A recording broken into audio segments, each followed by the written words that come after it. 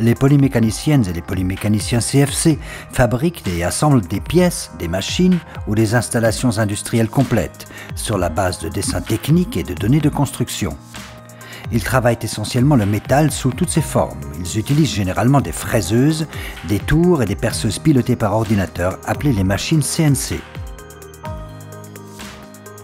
Les polymécaniciens sont responsables de la programmation et du maniement des machines. Ils surveillent la production de A à Z et sont capables d'intervenir à tout moment pour corriger le processus de fabrication.